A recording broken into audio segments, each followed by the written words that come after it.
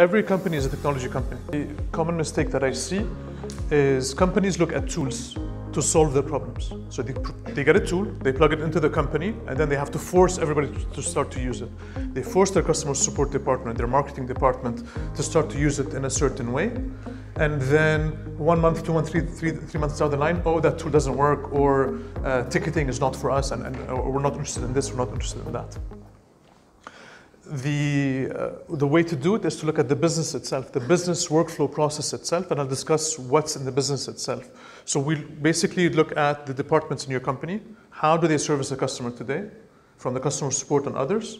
And from that, you map the whole uh, process for that. So let's look first for the use cases. When does a customer come to you? They ask you about a billing question, about a uh, uh, um, how do I do this? How do I do that? So they always come with a certain use case. Any company has typically six to 10 common use cases.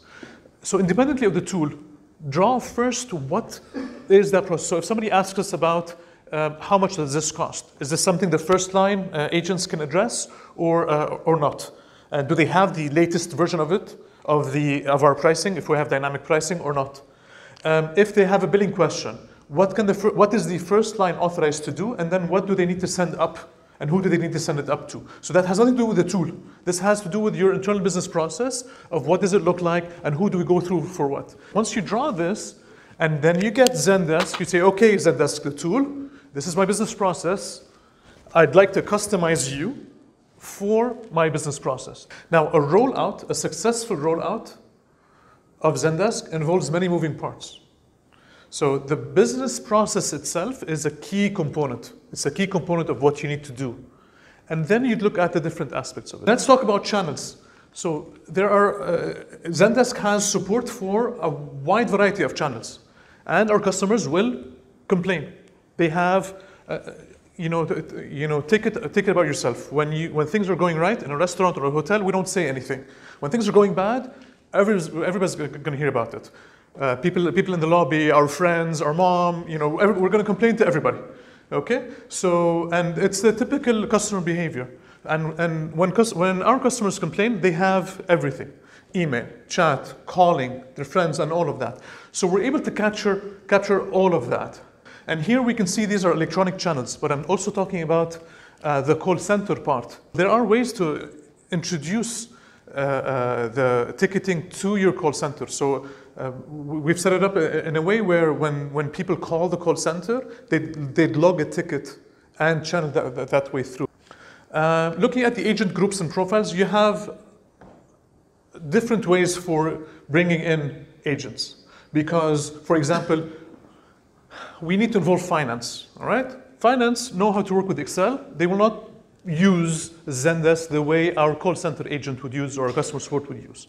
So there are ways to add them to Zendesk without changing how they do work. The reason you bring everybody in is you want when a complaint comes in that there are, all of the departments are there to solve it versus okay um, we get you get the generic I'll have to call you back or your call is important to us or you know we'll get back to you in X amount of minutes and somebody in the organization has to go back and call and run and chase everybody to get the actual answer.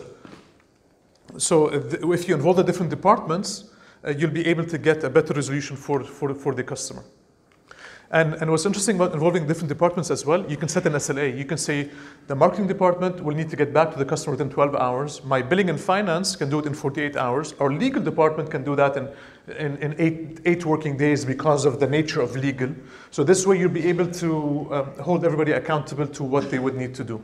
Uh, what the macros do is, um, in any support agent, no matter how much you train them, um, everybody has their own way of addressing things. So macros are a way to standardize that. That says, okay, you, you ask us about a question about pricing. There's a, there's a button that an agent clicks and it automatically pre-fills the response. It automatically assigns the right department. And um, every company has its own quirks, its own details. We need a visit number. We need an identification number here.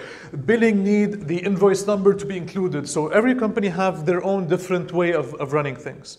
So what I'd recommend is within the ticket, so the Zendesk has a default ticket set, but you can add your own custom fields that are only for your organization.